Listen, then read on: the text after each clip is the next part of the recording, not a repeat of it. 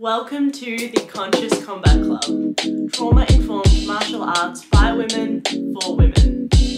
I'm your host, Georgia, and I cannot wait to go on this journey with you. Please note that some listeners might find this content distressing.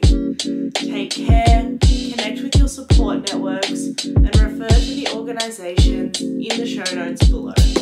Richie Hardcore is an educator, speaker, and activist working in family and sexual violence prevention, masculinities, mental health, and fitness.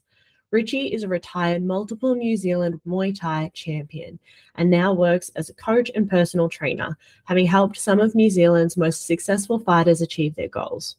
Richie has lived experience and draws on this in his work and in our conversation, so please be mindful that this conversation contains discussions of family violence. I got a lot of value from this conversation, and I want to make something very clear.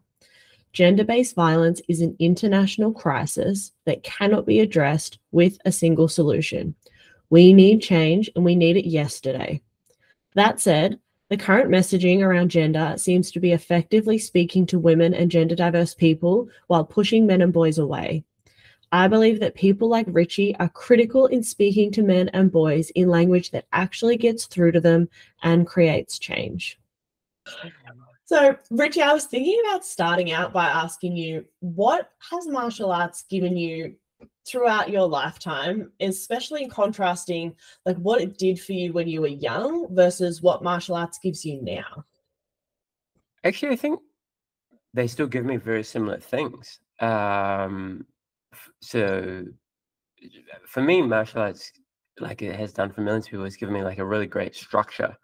Mm-hmm. Um, you know, I could when I was young, and it would like bookmark my day.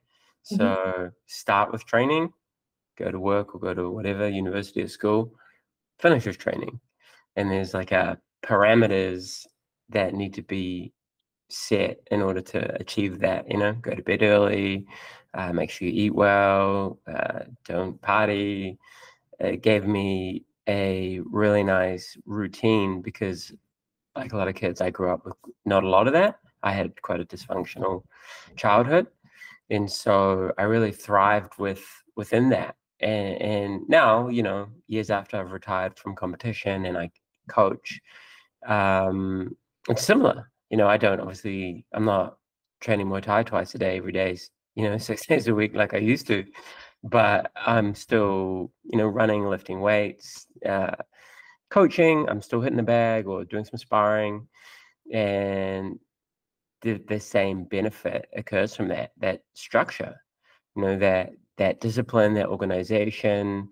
Um, that's really important, not just to me, but to humans. I think. I think a lot of people really struggle with all this time and and all these feelings and thoughts and memories and there's no presence no mindfulness and um, that means that people fill that with things that are often really destructive whether it's um, unhealthy relationships or too much time on social media or um, alcohol or drugs or violence in the street uh, and emptiness and lack of purpose in someone's life opens them up to all of those risks. And so, yeah, I've kind of taken what I learned about discipline and routine and daily structure. And now, I, obviously, I, I have a charitable trust and work with, uh, you know, people in the justice system or kids out of school to try and share that with them, as well as self esteem, self discipline, like the internal stuff, you know, like uh, the positive psychological impacts of regular daily exercise and um, focusing on eating well and maintaining like a healthy body weight and staying hydrated. It's like, yo, kids, drink water, you know? Seriously. Yeah. And a pause for water in a in a in a in a world in a society which actively encourages you not to be healthy like i think i don't think it's exaggeration to say that um, most people are unhealthy most people are overweight or obese. Many people, particularly young people, have mental health issues now, um, often due to the world that we expect everyone to navigate. You know, I was talking to my wife last night, and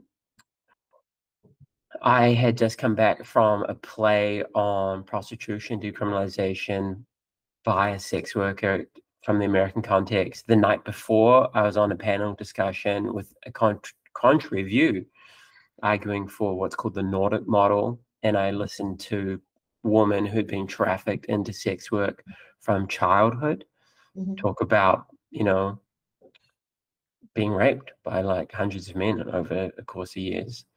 And the day before that, I was running a rehab program working with methamphetamine addicts and people who were in the justice system. And then I was going to bed reading a book by Robert Henderson called Troubled about being in and out of foster homes. She's like, human beings aren't meant to consume that much like suffering that's not their own. You know, like that's yeah. a lot. Mm-hmm. No, no wonder people are so anxious and stressed. And I was like, yeah, this is my work and the world I live in. But our young people are doing that, waking up to TikToks of kids getting blown up in Gaza. Yeah. You know, and like, what is that doing to us? So we, so martial arts, I think, actually gives us some positive catharsis and code mechanisms and a space to switch out of all of that. Because if we don't have something like that, then we do get more anxious and angry and fall into despair. And it's real, yeah, it's really the world's not conducive to good well-being. We have to work really hard to build things up in our daily practices, and I think the martial arts is a great way to do that for people. What do you think about just martial arts as they are versus what needs to be added to them to create really truly impactful programs, particularly for young men? That's the work that you do, right? Because we mm. hear a lot about how you've described it already, and I don't think it's a black and white like it's one or the other.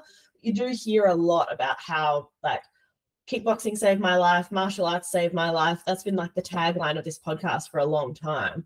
Um, but now, I, I suppose I've been doing this work for a while. I'm curious about what you think are the things that are missing that need to be brought in, the conversations that need to be had. What what needs to be added to what I guess the umbrella term is martial arts for development program mm. to make them effective through the, the lens of the work that you do working with young men. Yeah, so obviously, when you teach Thai boxing, boxing, kickboxing, jujitsu, mixed martial arts, wrestling, you know, contact martial arts, you're teaching people to get better with an ability with violence, right? Mm. And so you actually have to temper that, I think, with proper instruction about, um, particularly if you're working with like vulnerable people or people with histories of personal trauma. Um, about self control, self discipline, self esteem, context. Mm-hmm. And you have to do that all the time. You can't just do that on the, the first lesson, like, please don't hurt anyone at school. Mm-hmm. You know, you have to remind them of that and talk about some of the stuff that I think is lost in the modern transmission of martial knowledge, right? Like, I just make this corny joke, like, you got to be like Peter Parker's uncle, you know, like Spider Man you know, with great power comes great responsibility. Mm-hmm. You, actually, you actually have to teach that because, you know, I've done, I've been in combat sports for over 30 years and I've met people who've killed people by mistake in a sh- drunken street fight, you know? And so you really don't want to recreate that for any person that you're trying to help. So I think explicit instruction from senior students and coaches is important. I think I think coaches, particularly working with young men, do need to be more mindful that they are a role model. Mm-hmm. And what are they saying about women, about um, gender relations, about violence, about athleticism, um, about alcohol and drugs? You know, a young man can turn up to the gym with a lot of problems. And if the coach is like, all right, we'll finish training then we'll go have a few beers and then maybe go down to the strip club and, you know, like you're actually only helping a very superficial level with that young man, right? Like if you're if you really are in it for helping someone develop in a holistic way, I think it's like, oh, okay, well, how are you feeling? Um, how does that make you feel? What what can what what's that open up for you when you're having these conversations, you know? Like and then sharing some knowledge and advice in a non-judgmental way is a much better way to help someone, you know? And if you don't feel equipped to have those conversations, then at least don't encourage things which are destructive. You know, I think often older men in their 30s, 40s, and 50s do start waking up to the fact that alcohol, drugs, sleeping around, um, violence, you know, criminal behavior, that shit gets in the way of a good life or it ends it. So we have, I think, some degree of responsibility to help younger men learn from our mistakes or learn from our experiences and learn from our knowledge and and, and transmit that within within our spaces, right? Whether you're turning up to roll or hitting pads or you got sparring, you know. You know, when we go to sparring, most coaches are like, yo, mind your power, mind your mind your mind who you're sparring with if you're not as good as you, you work on your defense, don't, you know, just toes up, whoever. Don't be a bully. Take that everywhere, you know. If if a guy at sparring is being a dickhead, tell them, hey bro, you're going way too hard. And if and and I I don't wanna I don't want to spar hard. That's giving a young person the ability to communicate their boundaries. Mm. And so instead of just escalating that and you know someone hits you hard and you get emotion emotional and you hit them hard back and, and there's this escalation cycle right? And then your fight mode's activated and then before you know it someone's hurt and can't train properly or got to pull their fight. Mm. that's a really good way to teach guys anger management. It's a really good way to teach guys how to respond to the feelings that they're noticing. And you know sure and there is a time and place for competitive sparring or even hard sparring but it actually doesn't make you a better fighter often it makes you an injured one Mm. so if you can talk through all of that with your students then i think that's a really positively transformational i think if you teach i use a lot of analogies when i teach particularly when i'm teaching with the intention of helping people who are in programs right Mhm. you know your stance is the roots your stance is your childhood your stance is like the foundation that everything else works from right you know if you had a shitty childhood or a difficult childhood then everything else is going to be harder right? Um and there's you know so much academic evidence that supports that or workplace professional knowledge that support you know like that's not just a reckon you know kids need stability and structure and routine and love and support and many kids don't have that and it leads to all manner of problems.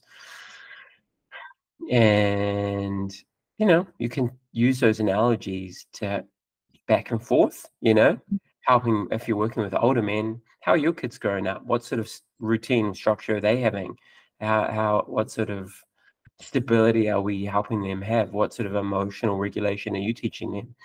You know we can tr- back and forth between the martial arts context or the training context and the family context and it makes conversations that we often don't have or are alien to us quite relatable Mhm. you know? You know you don't want to overdo your bench press on the first go because you get an injury and you'll fail right? It's it's like setting these incremental goals. Okay maybe you've had a serious drug abuse issue. If you're if you have gone from smoking cannabis six days a week to five days a week that's a that's a positive step. It's a harm reduction manner you know what i mean? You want to get stronger at your bench. Okay you do five five at this weight for certain amount of weeks, you have a deload period, then we step it up. You know, like you can Yep. talk through that, you know. So yeah, I think martial arts is a really useful tool if you're intentional to share tangible skills with people. Does that Mhm. make sense? I think it also gives men a space to talk about what's really going on in their life if other men around them are happy to be vulnerable and you actually have to role model that. So this morning I'm training I was training a guy in boxing and I know I know he's gone through a really long breakup with a really long-term partner and he's got a lot going on. And he's a personal friend, but not every man wants to go to a psychologist or a men's group or whatever, right? Yeah. But there is therapeutic outcomes that come from honest vulnerability Mm. between between people. and we just got to talking, you know, between between sets. You know, we've done it. We've done. I'd help answer him for you know, a bunch of rounds, and then I know he's got stuff going on. How's it going? Not an open, not a open, not like a yes no, but like an open question. You know, how's it going? He doesn't pay me to be a therapist, but I want him to be okay. Yeah. And and and we have some really nice chat, and just letting him talk freely. There's therapy in that. Does does that make sense? It does. and, and that relational strength is really good for anyone. There's a Mm. lot of people walk around with breakups, with mental health struggles, with financial struggles, with stress, and bottle it all up, and that comes out somehow, you Mhm. know. And often it's violence, drugs, car accidents. So, how do we help people take the volume, turn the volume down inside themselves in a healthy way? It's not just suppressing it, you know. Yeah. So there's like a twofold thing there. He comes, he exercises, he's present, he learns a skill, and there's this therapeutic engagement through open conversation, peer support. You know, It And is. I, I think all coaches can do that if they have some skills and training around that and a mindfulness to do that. Alternatively, I could have been like, "Oh yeah, well, fuck, get on Tinder. You could hook up with some new chicks, sweet bro." You know? Hundred percent. And I think what you said at the start, right, about the the um the knowledge sharing is not going to land if you're saying things like, you know, like let's look after each other, don't be a bully. If you don't also genuinely live those kind of values, the coach then turns around and they spar hard with hard with anyone, or they spar hard if, as soon as somebody seems like they kind of land a couple techniques, they have to like assert their their top of the pecking orderness and you know they push back and they're doing behaviors that aren't resonant with the message that they're they're trying to share um that and and that must take you know some work to get to a point where you're you're there right because it's not that easy not to have your ego take over all the time you know the ego's always there Oh, totally. Like I'm 44 and I retired from fighting 11 years ago. But sometimes I'll be sparring a new guy and he'll like whack me hard and I feel it come up. Like the old me will come mm-hmm. up. And like I'm still fit enough to put it on some people. And I have to work really hard. And I've don't get me wrong, I've messed it up sometimes. Like someone will hit me hard and I'm like, Do you want to spar hard? And they go, Yep. And I'm like, All right, let's go, you know? And mm. and at least we've had that engagement because I've articulated my desire to be competitive. But then sometimes I've, you know, over the years, probably gone a bit over the top in that and been like, oh, hey, look, I'm sorry that how I, you know what I mean? So it's been a process for me. Um, and sometimes dudes are into it. Like young men do need to like test and go through, I think, this pathway into adulthood or manhood. And the confines of the gym can be a really good place to do that. Better better in the gym than in the street, right? Definitely. Definitely better in the gym than in the street, but also important to have a model for other ways that you can handle when the intensity goes up.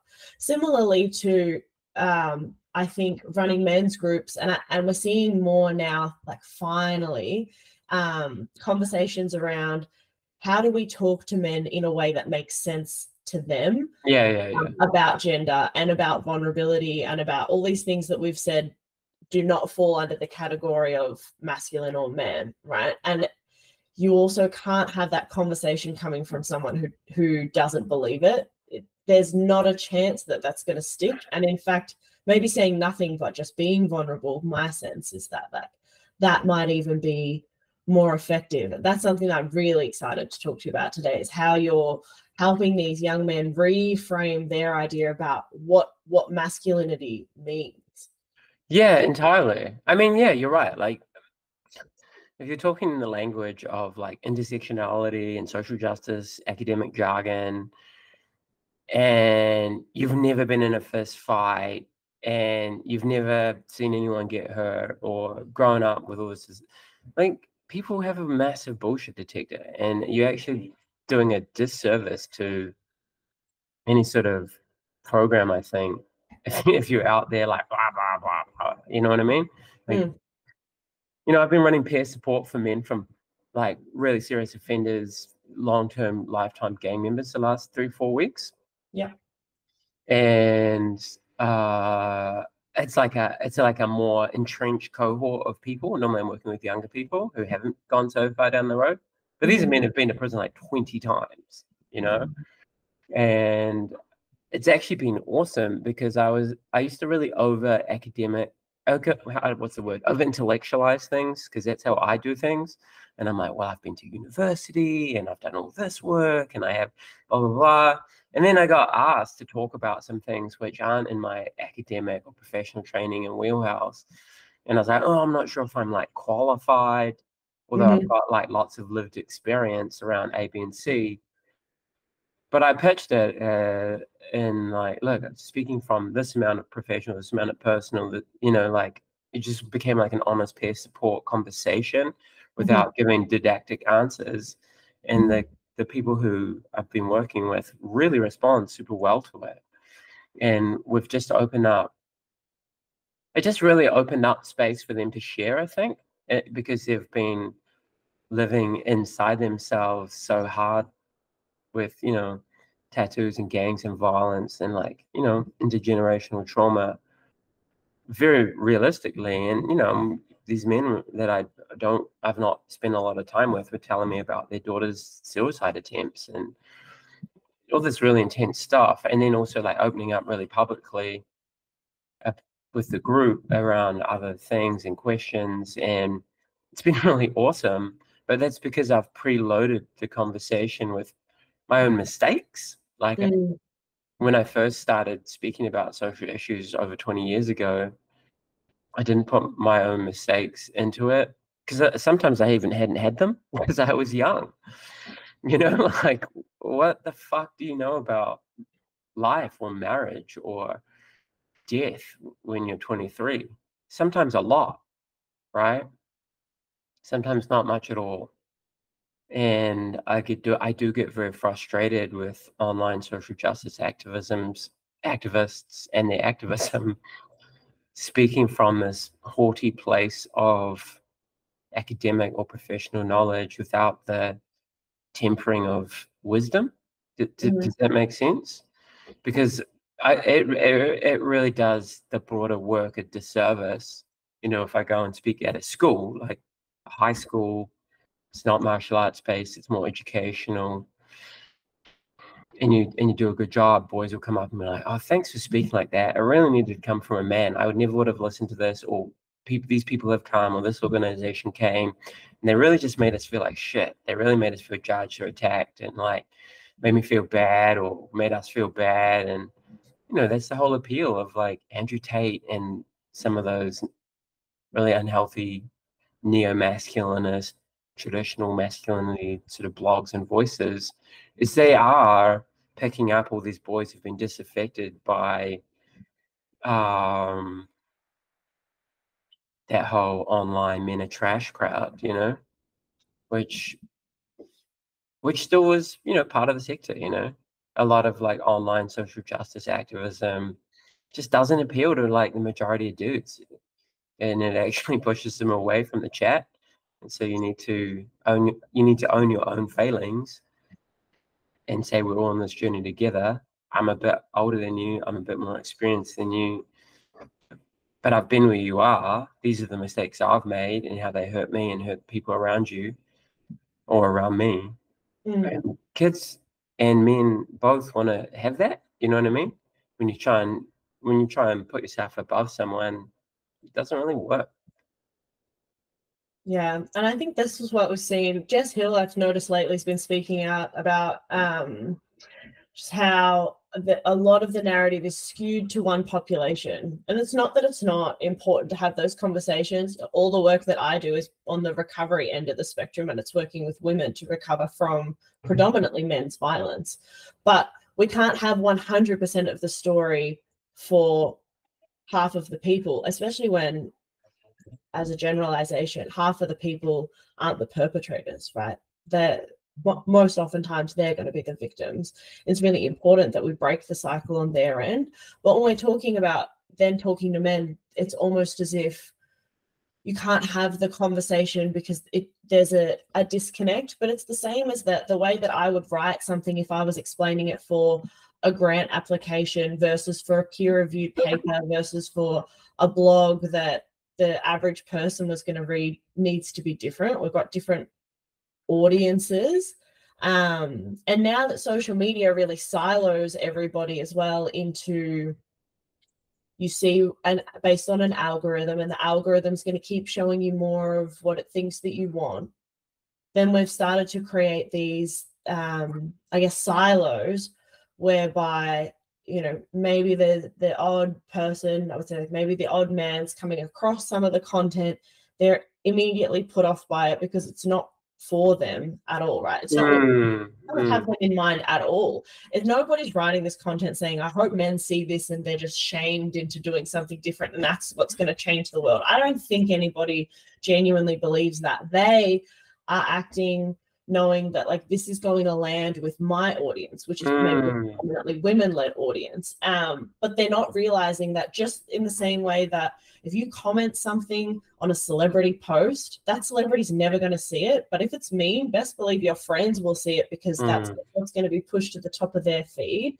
It's kind of a similar thing, right? Where then the what you have there's there's a void, and like you say, Andrew Tate and people like that are filling that void. right now, and and that's why the government ha- in Australia at least has really pushed to say we need men's programs, we need programs like the Man Cave to fit the other end of the spectrum because it's not it's not only one half the other half is just as important significantly important and we've been yakking on about how important prevention is forever but not being like well maybe we need some other voices or some other strategies Yeah, you need multiple voices saying things parallel, right? And in different ways.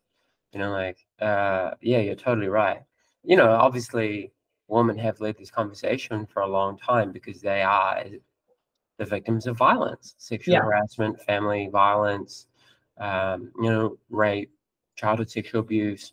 Women are disproportionately affected by all of those things, and men are unequivocally the biggest perpetrators of those things. And yet, most men are not perpetrators.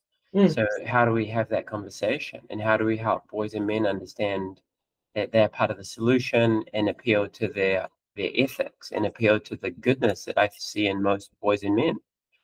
Because so long as we keep saying all men are trash, all men are violent, you know, the way someone like Clementine Ford does, like it's who's got a huge audience and produces a lot of content that gets understandably victimized woman agreeing with these more and more extreme takes like we're not going to get in you know like we're not going to get to the solution. That's why I, that's why i love jess hill's work because it's very pragmatic and she's like "Yeah, what do we do? How do we call dudes in? You know what i mean? How do we get all these different voices to acknowledge the issues but then work together rather than opposition? I feel Mm. like it, you have just like more and more extreme voices screaming across the divide and it's not helping anyone it's and it, it's really frustrating you know having been around this for you know over 20 years now or if I include my childhood, someone who grew up with family harm, you know, like my whole life, like Mm. It's it, you know sometimes I get so frustrated. It's like we're having the same thing again and again and again and again. You know, it's like you know I think statistically there's a slight reduction in family harm rates in Australia. Last I read, but um, we're not actually sure why that is. We're not actually sure. Is are our programs working? Blah blah blah. blah you know. So how do we figure out what is working and what isn't? And then if you look at like sexual violence and sexual harassment, there's really high rates of that still. If Yeah. not, um, I'm a little. I haven't checked the latest statistics, but I imagine due to the increased awareness and we've got more reporting, so higher rates. I imagine. Perhaps you could help me on the data there. Yeah, I, I don't think they have a clear answer to that. It would be people speculating to say that it might Yeah. be that it's um, higher rates due to increased reporting, because I think that reporting is still significantly low relative to what the the reality of it is, because there's still so much stigma, of course, you know. Um, And I think, you know, like you're so bang on that there just needs to be more more conversations, more diverse conversations.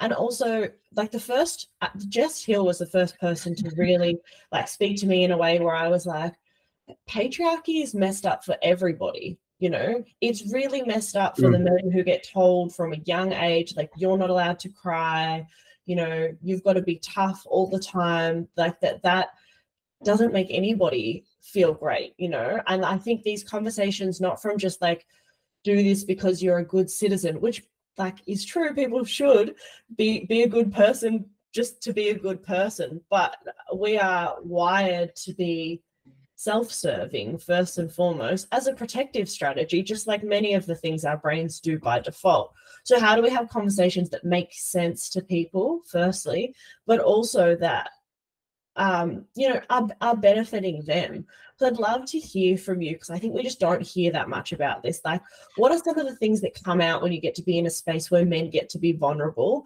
And what are some of the ways that that then goes on to positively impact their lives when they do come at everything, not just that one conversation, but they're able to step more into vulnerability, which I'm using it as an umbrella term to kind of counteracting what I would call that like the what we get taught as being what masculinity mm, is, the mm, opposite mm. of vulnerability. But I could be wrong there. No, I think I think it. I mean, it's a it's a tricky answer because it depends on who you're working with, right? I think some I think some of our younger men are actually far more aware of these conversations, and they are stepping outside some of these traditional expectations of masculinity, and they're cool with it, right? And I think that's emerged a lot through our mental health discourse you know, mm-hmm. their their all right, the conversation. It's not weak to speak. Is a it's been really good at helping shift this sort of narrative for, for a while. Yeah. But but that said, who kills himself the most? Yeah, you know, like young men. I you know, and, and then and then older men too. Like in New Zealand, um, uh, young Maori men uh, are twice as likely to commit suicide as young Pākehā men. But then, second on that list of who takes their own lives is older European men, often living in you know rural settings. And, and, and I would argue that yeah, there are there's similar cultural drivers, but different personal histories that keep boys and men stuck in this inability to ask for help, express, you know, develop coping tools that aren't alcohol, drugs, violence, etc. Mm. That emotional repression. So, for me, you know, when I, I used to kind of speak to people with this very forthright, feminist informed tone. Yeah. And like and and it was very popular with feminists, but it wasn't popular with boys and men and young people. And yeah. it was kind of like hard to decipher, you know, it was hard to mm-hmm. interpret in hindsight. It was well intentioned, uh, you know, I was talking about like rape culture and the the the, the pyramid of violence and mm-hmm.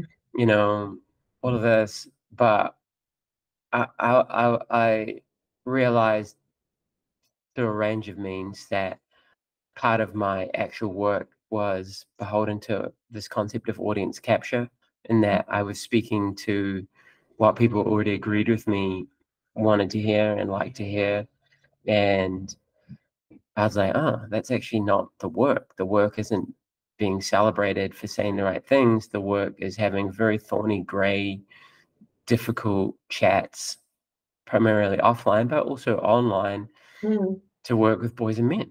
And to do that, you actually, I actually have like lot online lost followers or whatever because I'm not speaking to this audience anymore. I'm talking mm. to fucking regular dudes. So I swear I talk in a way that I talk how I would talk in the gym. Yeah. You know, and um what I've noticed is that I'm exponentially more connecting with dudes. Mm-hmm. particularly hard to reach mates. Like I'm I'm working with men who've done like terrible things sometimes now. And if I talked how I did 10 years ago, wouldn't work at mm-hmm. all. Even with my work in schools, you know, I've talked to like tens of thousands of students now across Australia and New Zealand, and even America once in an online thing. And like how I talked 10 years ago to how I talk now, man, I'm good at I'm great I'm great at it now. Back then in my formative sort of work, well intentioned, but gets the tone wrong, right? And I, I still think a lot of people are back here in the space. Mhm. Not not in a I'm not saying in a haughty way, but I think a lot of people who are who are inexperienced or only come at it from a professional academic sense and they can't temper that with a lived experience as well, they're they're kind of losing losing the target market. Does that make sense? So it's like you say, like maybe it's not designed to be doing the work, and that's cool. But mm. I'll go I'll go on LinkedIn and see like all these professionals in the space with these statistics and these this outrage and this drama and blah blah blah blah blah. And I think some of it is intended to be change making. And I'm like, bruh, like no one is gonna read this and go, that's it. We have to change. It just it's not even gonna register, it's gonna be scrolled past, or it'll be annoying. And like it'll be galvanizing to push back on a on an emotional reactionary sense because that's what social social media can do to us, right? Mm. So it's it's like I think we need to help each other figure out who's my audience, how am I speaking with them? If I'm not the person to do it, how do I help someone do it who who does? Does, does that make sense? Yeah, it So- does. So I'm really grateful to have worked with the, our Ministry of Social Development for a long time in New Zealand. And, you know, I do some professional work and professional development with emergent grassroots groups. And I get to share sort of the stuff I'm talking with you now. This is what we know hegemonic masculinity is. This is these are the drivers of family harm. But how do we talk about it in a way that's relatable and understandable to disparate groups, right? How you talk to this group isn't the same as how you talk to this group. You figure it out. You're the people in the community. You know the language, the tools, the cultural touch points. I might not, but here are the broader, you know, professional understandings that we all, I think, need to be aware of. But then you go out, you chew that up and and reshare that in a way that's digestible for your people. Mm. Uh, yeah. Does that make sense to you?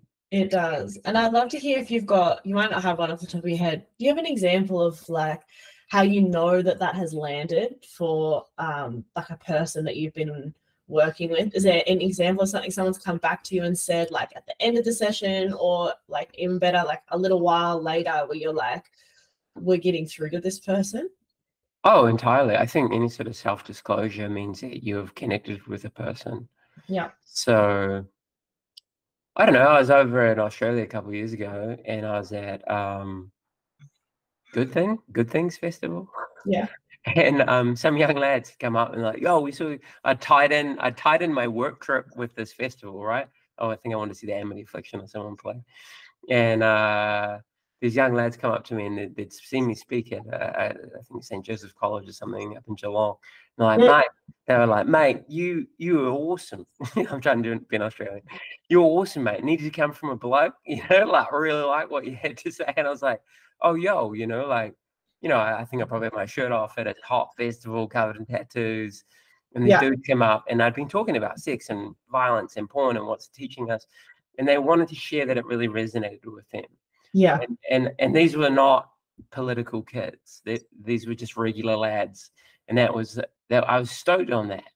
You know, like, my social media now is full of DMs from often boys and men and women mm-hmm. too, who are like, "Mate, I really like what you're talking about and how you talk about it. it means a lot. I've done this, this, and this."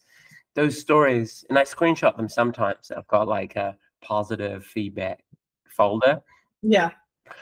That, that makes me stoked and it makes me constantly be mindful of how I'm communicating. Or even, you know, this week on Tuesday, you know, um, older man, been in and out of prison. We were talking about, we do an hour of Muay Thai and then we do like two minutes of silent or three minutes silent breathing. And I'll talk, talk them through like a basic, like mindfulness breathing exercise. And the breathing's way harder than doing an hour of Muay Thai. yeah, well, actually, it's amazing how quiet they all go now. Yeah.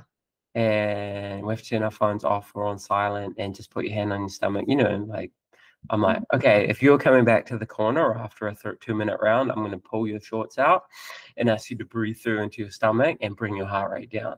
It's a mm. really, it's a really basic de-escalation technique. We do that, and then we do like a 45 minute kōrero around I think the first week we looked at masculinity, the second week we looked at sex, porn, sexual assault, and this week we talked about mental health. And I get into break out into little workshop groups, and it's pretty cool, man. And then this older dude was like, um, my daughter tried to commit suicide and I promised her that I'll get off the gear. And I love the gear. Like he was like really like, I love meth. I love the meth life. Which from someone watching this is like, whoa, you know, like but like within the context of the people I'm working with in that group, this is very like high needs, high risk group. That was such a normal thing. Like, but he said to me, uh, uh, I love my daughter, then I love methamphetamine. Mm. And, uh, and I'm five months clean. And I haven't been back to prison. And I was just like, like this dude was in his 50s, I think, and he and his daughter and him had were like reconnecting after mm-hmm. the suicide attempt. And for him to open up in our group chat like that was such a thrill for me that I was on the way to getting that tone right. Do you, do you know what I mean? You know, because you know, I open up like I'm not a psychiatrist, I'm not a psychologist. You know, my my academic training is in sociology. Like, uh, I'm, you know, I have a master's degree in sociology and another degree in political science and and um, you know professional background and preventative approaches to alcohol and drug harm and I guess I'm okay at speaking like that. But what resonates with these men is talking in just day to day language. Yeah. and and and sharing my own stories. Yeah, my mm-hmm. you know back in this period of my life, my girlfriend was cheating on me, and she got pregnant, and she was cheating on me while she was pregnant, and I felt like killing myself. And when I can be open like that, they're like, "Oh fuck, the brother's been there, you know. Oh yeah, what did you do to get better? And then I can talk through evidential ways of mental health recovery. Yeah. That have a host of literature behind it, but they feel rather than think about. You know what I mean? Mm-hmm. And I think we can all do that in our own ways. Yeah, hell yeah. We are rapidly running out of time, and I am heartbroken about it. Um, so we might have to get you back and do this again sometime. But before you go, um, the audience of this podcast is, I'm going to say, predominantly women, predominantly martial artists, and there are a lot of coaches that listen to this. So, do you have a message for coaches, particularly coaches who do work with mixed gender um, or work with men, in what they could be doing to do? you know even just some small amount of what you've been doing through your your work i think just little and often is a good approach mm-hmm. I think if we're always lecturing people which is what i did in my well-meaning 20s i was like telling people off you know like you know i'm older so like before like wokeness was a thing i was woke you know and i was a painful scold and I look back on that and cringe deeply with shame, you know, like for that period of my life. I think as I've matured and as I've healed my very real difficult experiences from a messy childhood, I've been able to do the work better. So I think first and foremost, work on yourself. Yeah. Like if your lens mm-hmm. of experience actually fixed yourself and then you can carry that work that those experiences with you and they inform your practice but they're not shaping how you talk. Because i see so many people talking from a place of anger and unresolved trauma and you start just building a bubble of people around you who are also similarly angry and have unresolved trauma. And then we live in this time where everything's ideological now. And so you get like a very politicized traumatized group of people talking about say sexual violence prevention in a way that just doesn't resonate with most boys and men if that's your target audience mm-hmm. almost almost people you know so working yourself first little and often i think is good you know mm. what i mm. mean when i say to one of my students in class is it cool if i um and i do i do this this is a thing If I say, "Hey, bro, I'm gonna grab you in the head. I'm gonna grab you in the neck to demonstrate clinch Is that cool?" In front of like 20 other young dudes, and he goes, "Yeah, all good." And I turn around and say, "See, boys, consent, fucking easy." you know, like they're, they're like, "Oh," I'm like, "Nah, for real."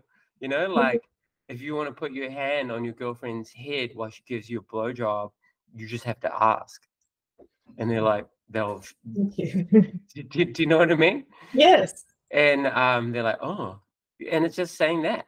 Do, do, do you know what I mean? Like, uh, little and often, humor is good, and um, be open to learning, and meet people where they are rather than expect them to come to you. You like you have to be inviting. Yeah. You know, you have to let. Uh, you know, I've had to let men know that it's better for us to have a broader, more expansive idea of masculinity. So I preface everything with who kills himself the most, boys and men, who experiences homicide and assault the most, boys and men, who dies in car accidents the most, boys and men, who ends up in jail most, boys and men. And I can recount countless stories of pe- people I know and care about who have killed themselves, killed someone in car accidents, ended in prison, killed someone. Um, who is the victim of sexual violence the most? Women and girls. Who changes the way they walk home, clothes that they wear, the times they go out? Women and girls.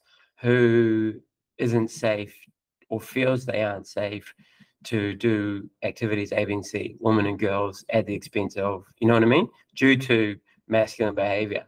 The drivers of all of these things are, are, are often quite similar when we Yeah. think about male gender roles, when we think about male expectations, when you think about lived histories culminating in violence. The answer of our collective liberation is multifaceted. It's not just a reconstruction of what we believe hegemonic masculinity to be. That is a big part of it. But there are class issues, you know, there are economic issues, which I Yeah. think often have been sidelined by, you know, uh, neoliberal identitarianism and identity politics. We don't talk about class anywhere near enough as we should. You know, there are a whole range of issues here mental health issues, addiction issues, you know, access to substances issues. I can't fix all of that, but I'm sitting here with you now, working with you about this part of it, and I'd love it if you did it with me. Yeah. Because I have two sons, and I don't want them to grow up with the same pressures that I grew up with, and they're beautiful boys. I love my sons so much that I I see that in everyone else who's got sons, you know. And then you all have daughters, my brothers. You know what I mean? Whether you're in a kickboxing class with young people, you chances are going to be a father, bro. You know, whether you're playing on it or not. You know, and and and, what sort of world do you want your kids to grow up in? You know, like I think appealing to men's empathy, young men or older men, Mm. and their their ethics and their higher selves is great, rather than shaming them Mhm. and, and attacking them and blaming them because um, there's- that doesn't work for anyone. So anyone listening to this, I would argue, you know, temper your approach. Are you saying these things to be seen to be saying these things, or are you saying them because you want to be mm, effective? Mhm. I, I think a lot of social justice culture is very performative, and it's very clout chasey, and uh, ineffective and polarizing. And I think, you know, I was saying this to my friend the other day. I don't really have time at the moment to like make all the content that I want to make. You know what I mean? I'm so busy working with people. Mm. No one sees all the shit. And that's I'm fucking cool with that. You know, like when I was younger, a lot of it was an unconscious search for validation. And now I'm older and have grown up. I'm like, yeah, fuck it. I'm not the coolest guy on the internet anymore, whatever. I'm working with dudes and they're telling me about this shit. And I go home tonight and kiss my kids, and that's fucking rad, you know? That's so much cooler than, I don't know. Oh, I lost 100 followers or whatever. I said something that someone didn't agree with. Who gives a fuck? Yeah. That's, it's not really where change happens, man. For people who do want to follow you, I'm sorry, I'm so conscious of the time now. Um, for people who do want to follow you online or connect with you, find out when you're coming to Australia. We've spoken about this. We need to Mm. be back here. How do people get in touch with you online?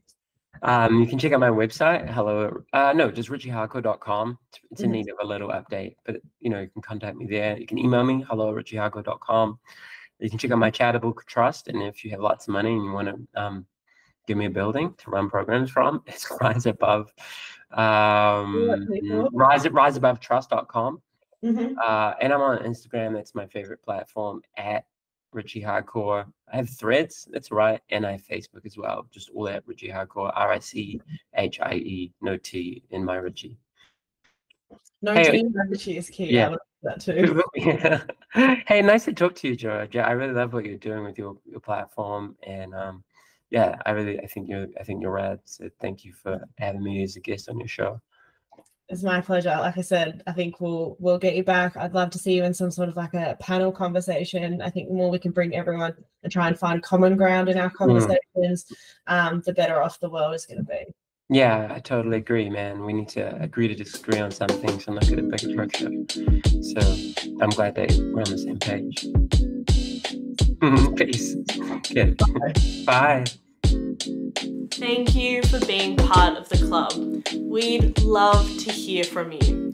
If you'd like to get in touch, please refer to the information in the show notes. If you'd like to support this podcast, please consider leaving us a review or subscribing on whichever platforms you use to listen or watch the podcast. The Conscious Combat Club acknowledges the traditional owners of the lands in which we work, live, and play. Always was, always will be Aboriginal land. We'd like to say thank you to Nari for the beautiful song Shape Me, heard at the beginning and end of every episode. Nobody shapes If me. you'd like to connect with But- Nari, you can find her on Instagram at Nari the Saga. Don't gotta tell you what my name is, I don't gotta explain it. Walk in the room, hear a boom erupting like I'm famous. I'm here shedding shells, I'm shameless. I fear nothing, no complacence. Walk too many tight ropes with no hope, so I became this poster they hold over all the heads of trauma holders. You don't need to know my history, I move boulders. Atlas shrug, cause I lifted the weight above his shoulders. No pretense of defense, move first like chess soldiers. This goes deeper than empowerment, cause huh, I'm the one that power it. Physical meets mental challenge me to keep devouring. If I can't change the scenery, at least I change perspectives. No longer isolated, but elevated and selective. Darkest places become beautiful spaces. This is where rage meets patience, meets power meets gracious.